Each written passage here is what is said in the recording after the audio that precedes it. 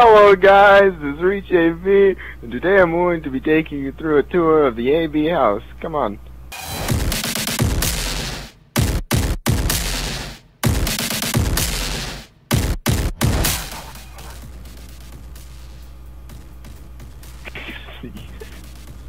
Hello guys!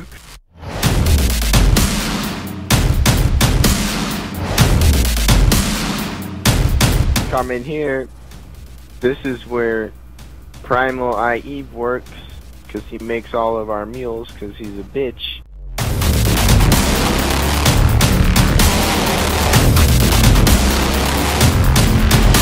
This is where Eve sleeps.